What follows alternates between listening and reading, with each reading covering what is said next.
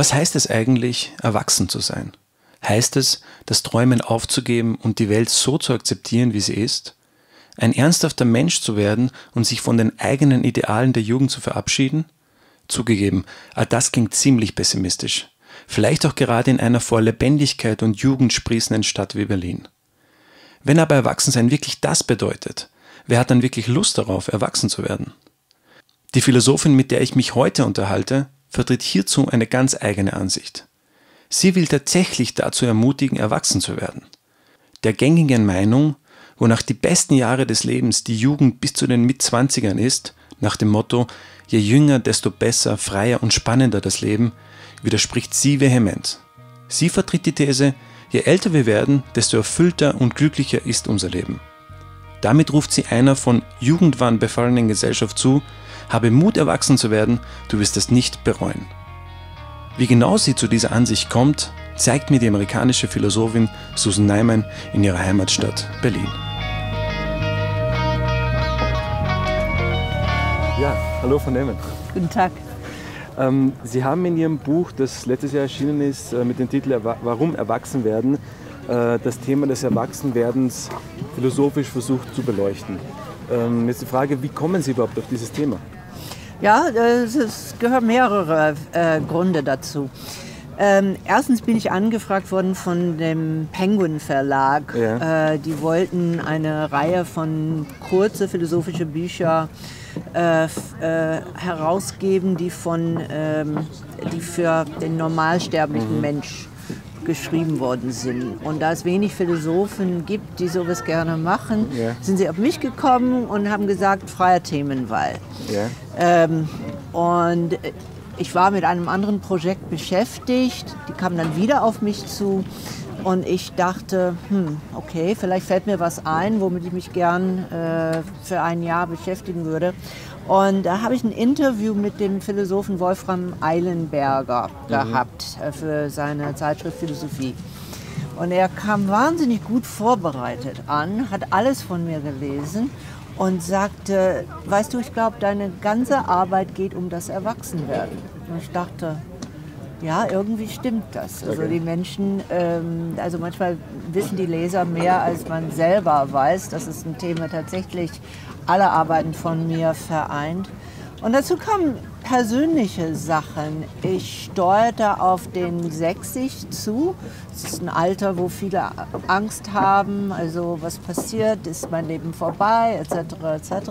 Und gleichzeitig waren meine Kinder alle in diesem Alter, so Anfang 20 bis Mitte, Ende 20, mhm. dass ich dann hautnah miterleben müsste, wie schwierig diese Zeit ist. Und äh, ich dachte, okay, also da kommt philosophisches, persönliches zusammen.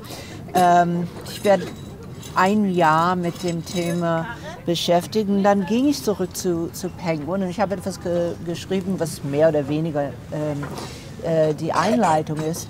Und die haben gesagt, hm, es ist doch kein philosophisches Thema. Und ich meinte, wie. Also das ist kein Thema, was abgehackt wird in den Universitäten, wo man sagt, ich weiß nicht, äh, Identitätsfragen, äh, Utilitarismus, äh, mhm. Skeptizismus oder so. Aber das ist tatsächlich ein Thema, was die größte Philosophen und das eigentlich schon seit Platon auf eine Art und Weise, aber vor allem in der Aufklärung bei Rousseau und Kant als zentral angesehen mhm. wurden. Und wir haben das vergessen. Und der Witz ist, ähm, die äh, gegenwärtige Philosophie hat sehr oft die interessanteste Fragen vergessen, ähm, die in der Philosophiegeschichte behandelt worden sind. Und ich sehe eine Aufgabe von mir als ähm, wieder die wirkliche Fragen, ja, ja. Ähm, also mich damit auseinanderzusetzen, ähm, die Menschen bewegen, und zwar von der Kindheit an und nicht nur die, ähm, sage ich mal, Fachphilosophen.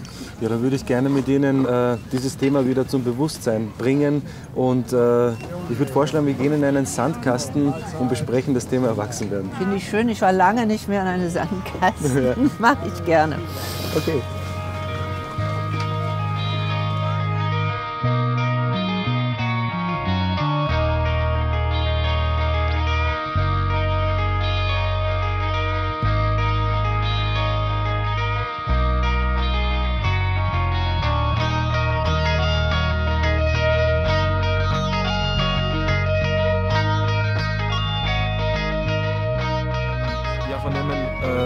Sagen, am Beginn Ihres Buches äh, zeigen Sie, dass erstens unsere Gesellschaft dazu neigt, das Jungsein zu idealisieren. Und zweitens zeigen Sie, äh, dass das Alter von 18 bis 28 für die meisten äh, Menschen als das beste oder als die beste Zeit des Lebens dargestellt wird. Ähm, Sie aber äh, gehen in Ihrem Buch einen anderen Weg und wollen zeigen, dass dieses Alter ähm, nicht zu den besten Zeit des Lebens gehört, sondern gerade sehr schwierig ist. Ganz, Was meinen Sie da? Ganz im Gegenteil. Also äh, das ist absolut verlogen ja. und das wird äh, empirisch überall bestätigt. Eben habe ich ein, äh, ein Buch von einem Entwicklungssoziologe bekommen, der das also auch sozialpsychologisch äh, ähm, bestätigt. Ähm, die Frage ist, ich kenne keinen Mensch, der über diese Zeit hinaus ist, der das gern wiederholen möchte.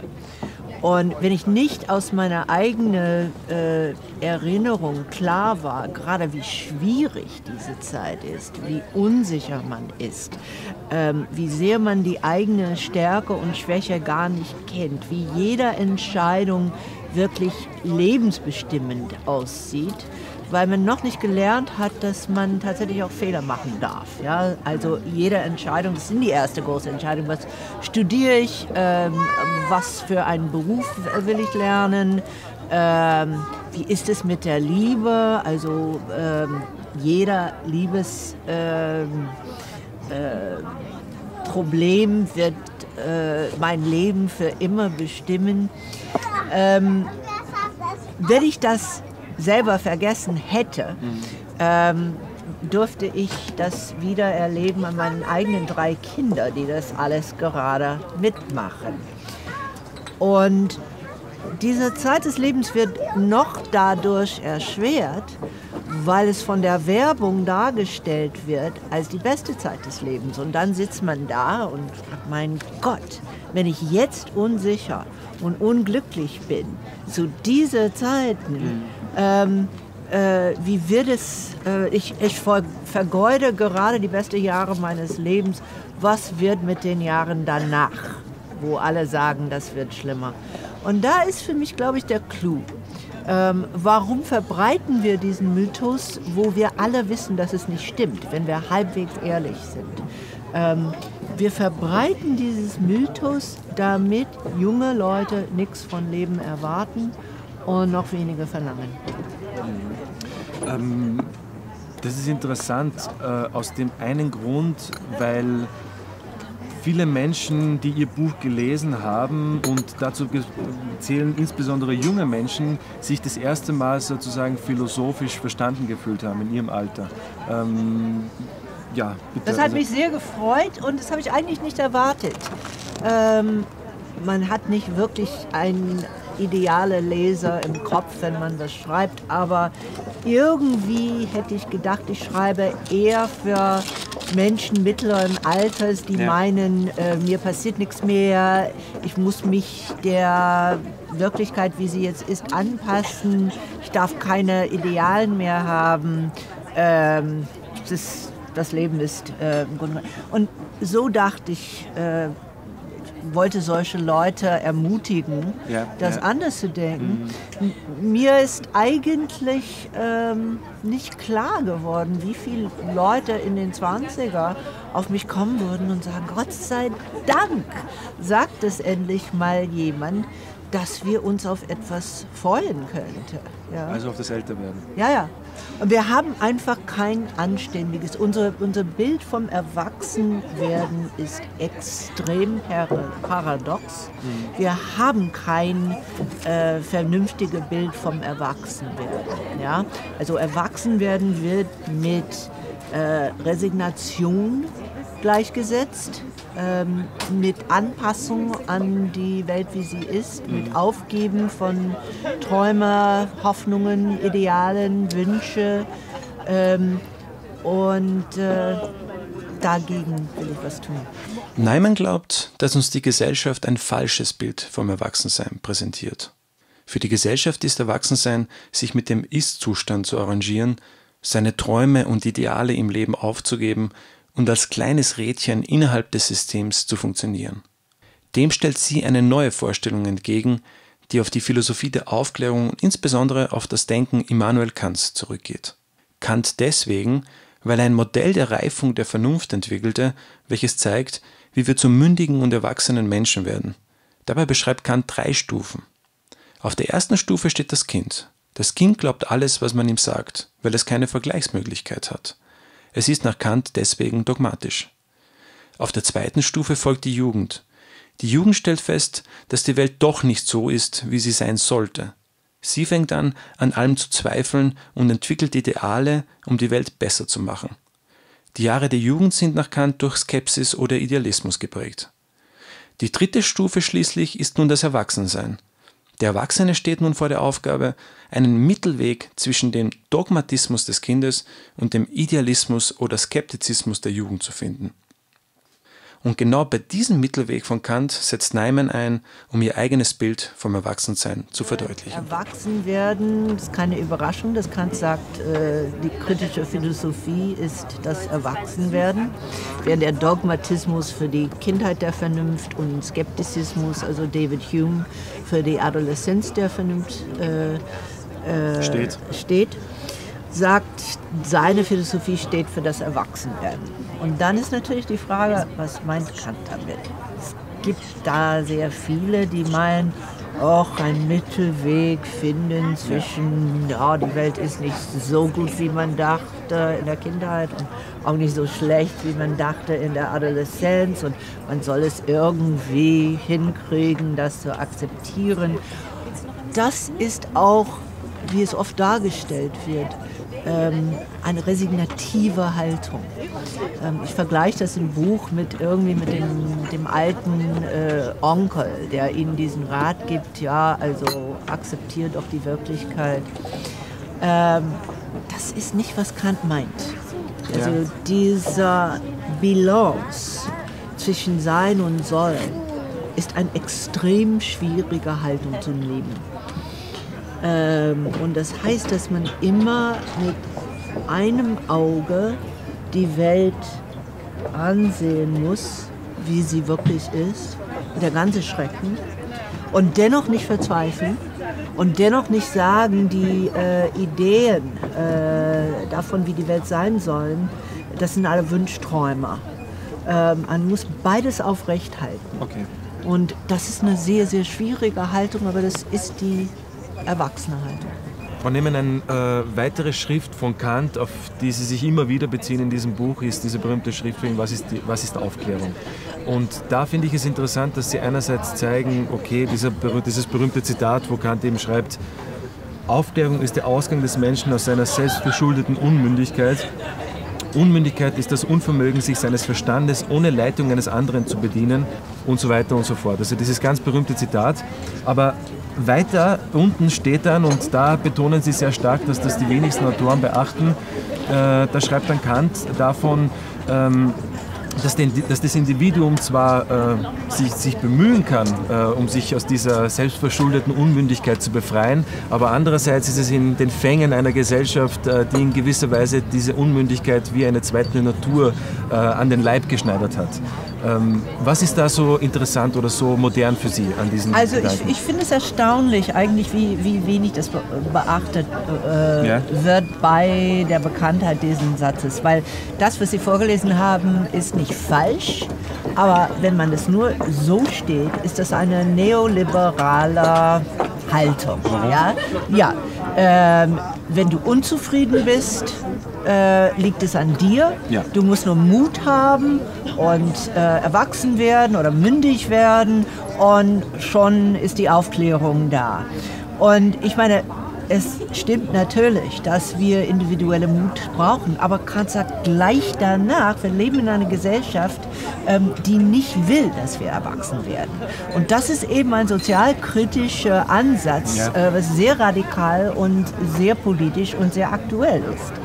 Und selbst Adorno, der diesen gesellschaftskritischen Ansatz bringen möchte in seinem Aufsatz äh, Erziehung zur Mündigkeit, selbst er übersieht, dass das alles eigentlich bei Kant gewesen ist. Nun können wir nicht ganz bei der Aufklärung bleiben. Die Mechanismen der äh, Infantilisierung sind anders als ja. im Absolutismus.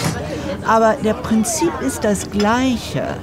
Ähm, und wenn wir nicht schätzen, was die Aufklärung uns gegeben hat, ähm, können wir nicht weitergehen und auf sie bauen. Also Einer der reizvollsten Thesen Neimans setzt genau hier an. Sie sagt, dass uns der Staat absichtlich infantil, also unmündig hält, damit er uns so lenken kann, wie er es braucht. Wie macht der Staat dies? Durch Ablenkung. Wir sind wie kleine Kinder, die sich vom nächstbesten Spielzeug ablenken lassen, nur dass unsere Spielzeuge nicht mehr Puppen, Teddybären oder Legosteine sind, sondern Handys, Tablets und die schier unendlichen Konsummöglichkeiten, welches uns das Internet bereitstellt. Nach Neiman ist es daher kein Zufall, dass wir Angela Merkel Mutti nennen, nach dem Motto, genießt ihr nur euer Leben, kauft was ihr wollt, Mutti kümmert sich schon um die Probleme der Welt und hält sie von euch fern. Was aber versteht Neiman genau darunter und kann uns hier Kant, der sicherlich noch keinen Internetanschluss besaß, noch weiterhelfen? Man kann noch darauf bauen. Ja. Äh, da wir gerade im Sandkasten sitzen, ähm, äh, gebe ich ein Beispiel aus der Kindererziehung. Ja. Ähm, also zu Kants Zeiten, äh, wenn ein Kind etwas tat, was äh, nicht gewollt würde, haben auch äh, eher fortschrittliche Eltern sich nicht gescheut, ihn eins draufzuhauen. Ja. ja? Ähm, das war Standard. Genauso wie im Absolutismus, wenn einer etwas tat, was, äh, was der, dem Staat nicht behagt, ähm, würde er entweder zensiert oder ins Knast oder mit dem Leben bedroht. Wie, äh, also ganz direkt Wolf. sozusagen bedroht. Genau, das ist die autoritäre Umgang mit, ähm, also mit Unbequemlichkeit, mit Widerspruch, mit Widerstand. Ähm, und so ist man mit Kindern umgegangen. Wir sind fortschrittlich. Ja. Ich habe viel Zeit auf, äh, in Sandkasten äh, äh, früher genommen und ich weiß dann ganz genau, was man tut, wenn ein Kind äh, die Hand ausstreckt, um etwas zu ähm, äh, etwas zu haben, was ja. man ihm nicht geben will. Ja. Man legt ab. Und das funktioniert blendend. Ja? Ähm, also Ablenkung. Ja, ja. Und es funktioniert blendend. Mhm. Es kommt darauf an, äh, wie alt das Kind ist, gerade was man, ab, äh, was man benutzt, um, um ihm abzulenken. Mhm. Aber äh, funktioniert. Nun, je älter wir werden, könnte man sagen, blicken wir eher durch, wenn man uns ablenken möchte. Mhm. Aber da der Zahl der Dinge, mit denen wir ablenkbar sind, wirklich grenzenlos ist, yeah. also wenigstens seit äh, der Erfindung von Cyberspace, sind wir ähm, viel, viel anfälliger dafür. Yeah. Das heißt, die Mechanismen der Infantilisierung sind subtiler geworden yeah. als zu Kants Zeiten. Aber der Zweck ist der gleiche, der Form ist der gleiche. Aber wir wissen nicht, wo das Zentrum dieser Infantilisierung ist. Wir können ja nicht sagen, so, dass Mutti äh, uns lenken will oder äh, also das meine ich, dass, das, äh, dass dieses Zentrum, dass man nicht mehr hindeuten kann äh, und sagen kann, das ist die Person, die uns sozusagen Natürlich. zu infantilisieren versucht, die uns abzulenken versucht. Nein. Also es ist schon so perfektioniert worden, dass wir genau. es sogar gerne haben. Genau. Und da, das meine ich, also in Kants Zeit, wo diese Trennung zwischen Beherrschter und Herrscher so klar war, wie es für uns heute in einer modernen Demokratie ja gar nicht mehr so gegeben ist. Ob man da Kant irgendwie noch retten kann? Ähm, ja. Ähm, ich meine, man kann schon sagen, es ist schwieriger geworden. Ja, ja. ja? Aber dieser kantische Ansatz, dieser doppelte Ansatz, mhm. ähm, selber denken, nicht zu feig und zu faul sein, ja. selber zu denken und gleichzeitig zu erkennen, dass wir in Gesellschaften leben, die uns am selberdenken verhindern ja. wollen. Dieser Grundgedanke ist heute noch so noch aktueller, aktueller denn je. Okay. Die Mechanismen sind anders. Interessant, dass Sie das sagen von der Aktualität, weil äh, Sie haben ja vorher schon Adorno angesprochen und er geht da auf eine zentrale Stelle äh, des Buches, des Aufsatzes von Kant ein, was ist Aufklärung, wo Kant darüber spricht, ob wir in einem Zeit, Zeitalter der Aufklärung leben und Adorno, äh, was der dazu schreibt, äh, auf die Frage nämlich, leben wir jetzt in einem aufgeklärten Zeitalter, hat Kant eben geantwortet, nein, aber wohl in einem Zeitalter der Aufklärung.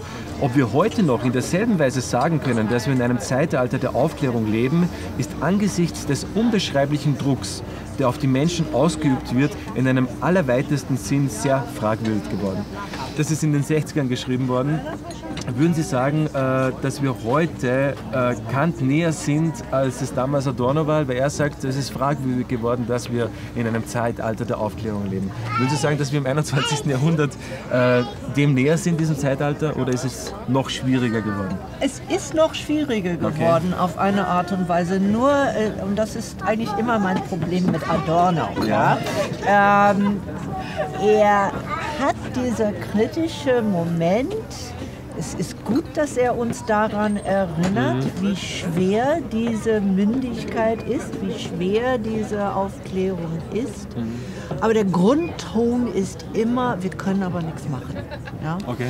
Und ähm, das finde ich unverantwortlich, ehrlich gesagt. Okay. Ähm, Nicht kantisch sozusagen, weil. Ja, ich, also ich, ich der Aufsatz von Kant, der mir, mich eigentlich zu Kantianer gemacht hat, ist äh, auch für die Berlinische Monatschrift geschrieben. Also okay. auch ein, Wie ist ein Aufsatz? Für, ja, ja, für ein ähm, also, äh, allgemeines Publikum und nicht für ein Fach geschrieben. Was heißt es, sich im Denken zu orientieren? Und ich finde, wenn man als Philosoph oder Philosophin nicht etwas zur Orientierung geben kann, soll man doch lieber schweigen oder Gedichte schreiben oder Romane. Ja, ähm, pessimistische Weltanschauungen gibt es wirklich genug. Ähm, und ähm, ich meine, Adorno erinnert uns daran, und das ist wichtig, obwohl es schon im Kant steht, ähm, Einzelhandlungen yeah. werden nie genug sein um eine Gesellschaft zu verändern. Ja? Ähm, ganz klar. Aber da müssen wir anfangen. Es gibt, es gibt nichts anderes. Ja? Ähm, und natürlich, und das ist eben die kategorische Imperativ, wenn genug von uns diese Einzelhandlungen ausführen würden, dann wäre die Welt verändert. Das steht alles in Kritik der reinen Vernunft. Also klar, Einzelhandlungen reichen nicht aus, um eine Gesellschaft zu verändern, die in diesem Ausmaß äh, uns infantilisiert und auf irgendeine Weise versklavt. Okay. Also, aber ein, wie Sie richtig gesagt haben, eine, eine Sklaverei, die wir gerne haben. Ja? Ich würde jetzt gerne äh, mit Ihnen, weil wir das jetzt alles so gut besprochen haben, äh, auf den Markt gehen äh, und einfach auf Leute zugehen und sie fragen, ähm, was Erwachsenwerden bedeutet und einfach auf, ihre, äh, auf, auf, ihr Buch ansprechen und äh, zu sehen, ob, sie, ob dies das deckt oder eben nicht deckt. Und äh, ja, würde Sie gerne einladen, dass wir da hingehen. Oder? Gut, das ist spannend. Okay, machen wir.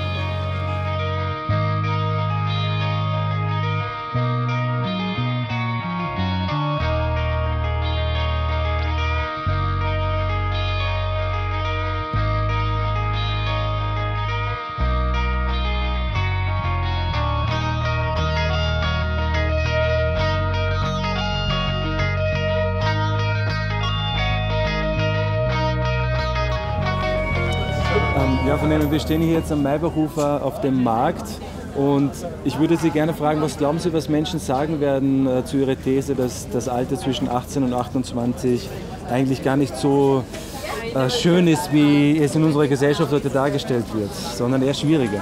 Bis jetzt hat mir jeden Mensch das bestätigt. Ja.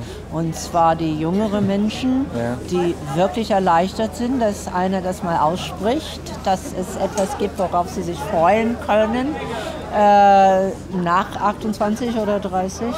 Und die älteren Menschen, die sagen, äh, wenn ich das einmal durchgemacht habe, würde ich das nie wiederholen wollen. Und was glauben Sie, was Leute assoziieren mit Erwachsensein? Ja, also das, das ist eigentlich das Paradox daran, dass wir nicht über dieses Thema nachdenken, weil einerseits ja. will niemand diese Jugendzeit wirklich äh, ja. nachmachen.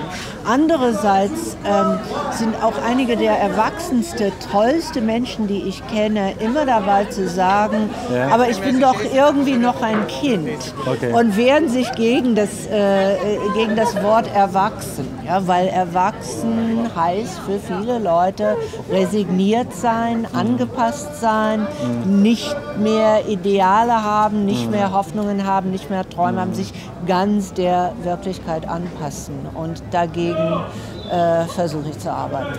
Ja, dann bin ich gespannt, was die Leute darauf sagen werden. Ich auch. Ja. Ja, äh, die amerikanische Philosophin Susan Neyman hat ein Buch geschrieben mit dem Titel Warum erwachsen werden. Was bedeutet für Sie erwachsen sein? Maximal Verantwortung und ansonsten einfach leben lassen. Ja. Vernünftige Musik hören, sich einfach mal anders kleiden. Nicht, man muss nicht mit 40 oder 50 in, in hellblauen Grau laufen. Mal nach Wacken fahren einmal im Jahr was, was wir alles machen. oder so. Ja. eben vernünftig, vernünftige Leute haben, schön Umkreis und die alle nicht so alt sind, wie sie aussehen. Okay.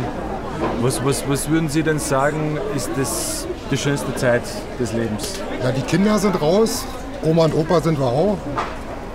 Ist doch in Ordnung. Jetzt haben Ja. wir Urlaub, Jetzt haben wir Ruhe, jetzt können wir jetzt leben. haben wir Ruhe und jetzt können wir leben. Und machen das, was wir früher nicht konnten. Ne? Okay. Kinder und so weiter. Also würden Sie sagen, je älter man wird, desto angenehmer ist jetzt für Sie oder ist die Zeit zwischen 18 und 28 etwas Besonderes, wenn man da eben viel Freizeit hat und Das ist ja normal. ganz Das, anderes. das, das Junge Ganz was ist ja anderes, klar. Verliebt werden Ja. und so weiter. Na logisch. Aber äh, ein bisschen älter ist das echt pikanter. Das sind doch bloß Zahlen. Das sind doch bloß Zahlen. Ja. Wenn dann 50, 60 bin, sind doch bloß Zahlen. Also ich fühle mich nicht wie 60 oder wie 50. Wir werden 60. Wir wären 60 jetzt. Kein Problem. Ja, viele. Aber ich glaube, Aber gerade ja. gerade Leute, die, äh, die sich mit ihrem Alter nicht so wohl fühlen. Ja. Also so diese ganzen Schönheits-OPs oder so. Okay. Das sind auf jeden Fall Sachen, oder Haare färben. Ne? Also dass man irgendwie denkt, oh, das ist jetzt voll peinlich, dass ich schon 30 bin. Also wenn man sich dafür schämt. Aber wenn man einfach sagt, du, ich bin 30 und ich gehe immer noch gerne in irgendeinen Club oder so und dazu steht, sage ich mal, dann finde ich das auch cool und das respektieren die Leute auch. Warum glaubt ihr, ist das so? Und ich finde gerade das ist eigentlich erwachsen. Also wenn man dann dazu steht und das sagt. man dazu steht, Und wenn man halt irgendwie, wenn man eigentlich sieht, dass die Person schon super alt ist, aber das nicht sich eingestehen will, das ist eher ein bisschen kindisch, weil, also kindisch in dem Sinne so teenie-mäßig un unsicher, ne? Also dass man sich in seinem Körper nicht so wohl fühlt. Und das ist für mich auch Erwachsensein. Also dass du einfach so ein bisschen weißt, wer du bist und was du bist und was du gerne hast und wen du um, gerne um dich hast. Was, was würden Sie aus Ihrer Lebenserfahrung sagen, was ist die schönste Zeit des Lebens für Sie oder überhaupt? Die Jetztzeit. Die Jetztzeit. Also die Zeit, die Menschen idealisieren ja manchmal die Zeit zwischen 18 und 28. Würden Sie sagen, Nein, da habe ich noch viel mehr gedacht, ich muss alles richtig machen. Das denke ich jetzt nicht mehr. okay, okay, gut. Also die Zeit ist, also je älter, desto ruhiger, besser, sicherer. Ja. Ja. Also das Alter ist, würden Sie sagen, in unserer Gesellschaft äh, zu, zu negativ betrachtet oder es gibt so eine Bewegung, die will immer jung bleiben? Ja. Ja, würden Sie sagen? Also ich will natürlich auch auf eine Art immer jung bleiben. Ja. Das tue ich ja auch. Ich bin bald 70, Ja. ja. Aber mir macht mein Leben mehr Spaß. Äh, das ist bei mir so gekommen. Immer, je älter ich wurde, Okay. desto mehr hat mir mein Leben Spaß gemacht. Ja, erwachsen werden hat auf jeden Fall was mit Verantwortung zu tun. Also Ja. äh, Verantwortung übernehmen für das eigene Handeln. Ja, ja. Und ja, so es hat leider auch so ein bisschen Ernstigkeit, also Ernsthaftigkeit Okay. ähm, mit sich. Aber auf jeden Fall Verantwortung, glaube ich, ist so das, was es am meisten für mich ähm, Bedeutet. bedeutet, ja. Und bist du selbst erwachsen? Würdest du sagen, dass du erwachsen bist? Ähm, zum gewissen Teil ja. Ja. Also ich versuche so viel wie möglich Verantwortung zu nehmen über mein Tun und Handeln. Ja. Aber ja, ein gewisses bisschen Kind habe ich auch noch auf jeden Fall in mir. Also ich finde, das sollte man auch nicht verlieren. Also ich würde sagen, warum erwachsen werden, nicht zu 100 Prozent. Und äh, was würdest du sagen, was war oder was ist äh, die schönste Zeit des Lebens? Die Ich Jugend. glaube, das kann ich noch nicht sagen, weil Das ich habe halt mein Leben Ja. noch nicht zu Ende gelebt. Also Und was glaubst du so aus deiner Perspektive jetzt? Glaubst du, dass es so das Alter zwischen 18 und 28 ist oder eher danach? Finde ich es schwer. Also ich glaube, man fährt so am besten, wenn man die jetzige Zeit immer als die schönste zu sehen Okay. versucht. Ja. Ja, ist interessant. Na, es ist schon ein gutes Alter. Äh, Man muss sich selber aufbauen. Der Mensch, derjenige, der studiert, oder alle Menschen auf der Welt, Ja. jeder äh, haftet für sich selber. Ja. Äh, Entweder bist du voll im Geschäft, das heißt, äh, du hast eine Linie gezogen, die ganz gerade ist, du weißt den Weg, Yeah. Du willst was lernen, egal was kommt. Mhm. Oder du machst einen Weg wie eine Schlange Kurvenleben, einmal hoch und einmal runter. Da landest du ganz schnell auf dem Bauch.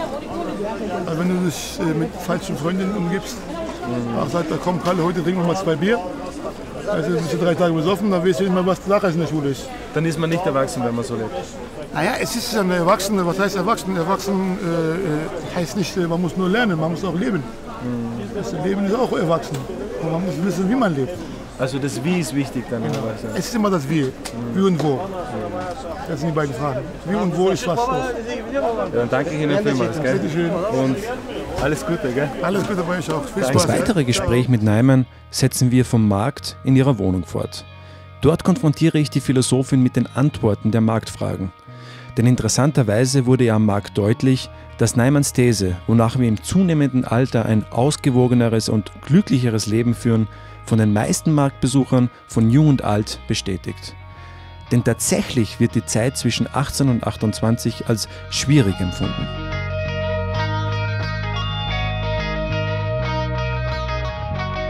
Zeit ist nicht schwierig, weil so ja. viele Entscheidungen getroffen werden. Man trifft ständig Entscheidungen und immer, mhm. immer wieder und immer weiter und man wechselt den Beruf oder okay. wechselt äh, den Partner oder ja, also oder wechselt das Land, ja. Mhm. Also ähm, kann ich aus meiner Erfahrung sagen, aber auch aus der Erfahrung von vielen. Es, es ist eben diesen Druck erstmal, mhm. dass was man sich entscheidet, in den 20er das ganze Leben bestimmt. Okay. Und das ist falsch, erstens, also das ist einfach falsch. Zweitens äh, ist es schwierig, weil man dabei ist, sich selber kennenzulernen und die Schwäche und die Stärken und man ist einfach, man kennt weder sich noch seine Wirkung auf mhm. anderen, ähm, noch wirklich, was einem am wichtigsten ist. Und dieses Prozess des Sich-Kennens, was auch natürlich an die Welt kennenlernen heißt. Ähm, das ist es, was äh, schwierig macht mit diesem Druck. Äh, ich entscheide jetzt eins für alle Mal, wie mein Leben weiterläuft, ja. Und nochmal diesen zusätzlichen Druck. Alle sagen mir, das ist die beste Zeit meines Lebens. Ähm, und äh, wie schrecklich das sein muss, weil die anderen Zeiten werden alle noch schlimmer. Also ich vergeude jetzt meine beste Lebenszeit und ähm, ähm, diese Angst kommt noch dazu. Ich wollte Sie jetzt noch fragen, ähm, wenn wir uns so ein konkretes äh, Leben anschauen, äh, eine Frau, die zum Beispiel drei Minijobs hat, ähm, der es sozusagen schwerfällt, Zeit zu finden, um Wissen anzusammeln, um vielleicht dann da, darüber hinaus den Mut zu entwickeln, äh, mündig zu werden. Was kann man so einer Frau raten oder was, was macht man mit so einer Person? Was bedeutet für so eine Person mündig sein? Also ähm, dann liegt es wirklich an uns, ja. die äh, das Glück haben, mhm. wohl kein drei Jobs haben zu müssen, mhm. die die Freiheit haben und die Zeit haben, ein bisschen darüber nachzudenken und ein bisschen äh, uns zu engagieren, ja. um die Verhältnisse zu verändern, dass sie anders sind für diese Person. Ich meine, ich stimme mit Brecht äh, so weit äh, mhm. überein, dass also wenn man wirklich sich Sorgen machen muss, ähm, was auf den Tisch kommt, äh, muss man erstmal das Fressen besorgen. Ja? Also diese Person kann man nicht vorwerfen, dass sie Nein, unmündig ist. Um Gottes Willen. Ja. Das wäre grausam. Das wäre wirklich, also den Opfer den Schuld zu geben. Ähm, mhm. Auf keinen Fall. Nee, ähm, und ich finde oft, wenn man solche Leute kennenlernt, ähm, kommt drauf an, aber die sind manchmal aufgeklärter als bestimmte Leute im höheren Mittelstand. Ja die eben durch den Erfolg ähm, sich bestätigt fühlen und äh, die Verhältnisse dann doch angepasst haben. Ja? Also ähm, es liegt wirklich an uns und ähm, das ist etwas, was ich meinem Lehrer äh, John Rawls verdanke, glaube ich, dieser Haltung. Ähm, wer mit Intelligenz gesegnet ist.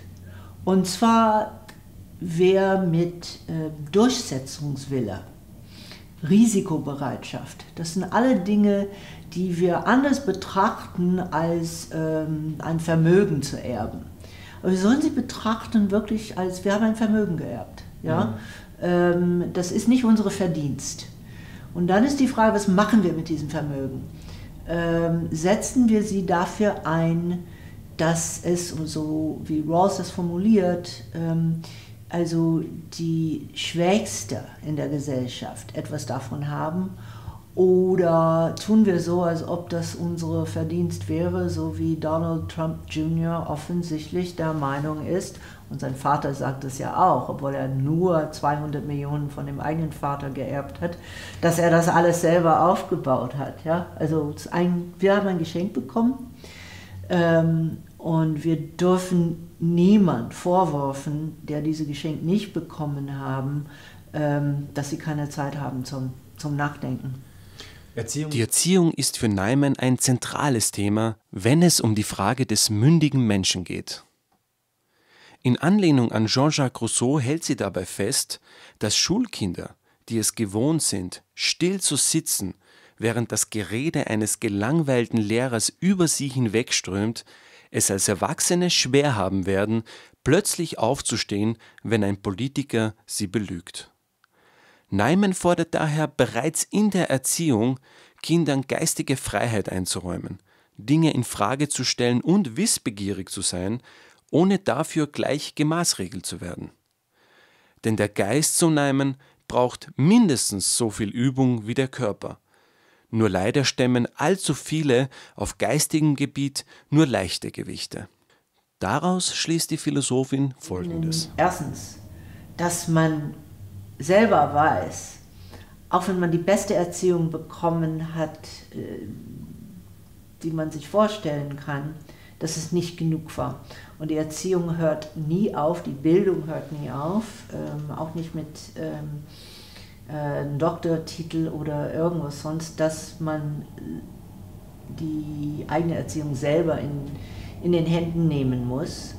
Und ich meine das wirklich im breitesten Sinn. Ähm, Sie sagen an dieser Stelle, glaube ich, auch, äh, man ist nie erwachsen, man muss es immer werden. Genau, man muss es immer werden. Was irgendwie äh, auch mit diesem kantischen Satz trifft, wir sind äh, äh, ein, ein, Zeitalter der Aufklärung, nicht ein aufgeklärter Zeitalter. Ja. Das ist also dieses Werden. Diese Dynamische, was da ja, ja, auch gesehen Ja, ja, finde ich, find ich sehr wichtig, weil äh, wenn man sagen würde, ich bin erwachsen, heißt, man, äh, heißt es, ich wachse nicht mehr. Also das ist eigentlich der Tod. Ja? Ähm, also eigene Erziehung in der Hand nehmen, sich trosten, dass das, was man den Kindern geben kann, ähm, nicht das Beste sein wird, weil man das ganze System so engagiert man sein mag, ähm, nicht auf einmal ändern kann. Und dennoch, wo man, glaube ich, heute aufpassen muss, und das höre ich von so vielen Menschen, die Eltern sind oft diejenigen, die dieser Sicherheitsdrang in den Kindern hinein projizieren, so dass man ähm, Menschen kennenlernt, die meinen, wenn ich nicht schon, und, und mein Gott, es fängt wirklich früh an, diese Schritte machen, ähm, werde ich keine feste Anstellung bekommen mit, ich weiß nicht was, 25, und dann ist das Leben ruiniert. Ja?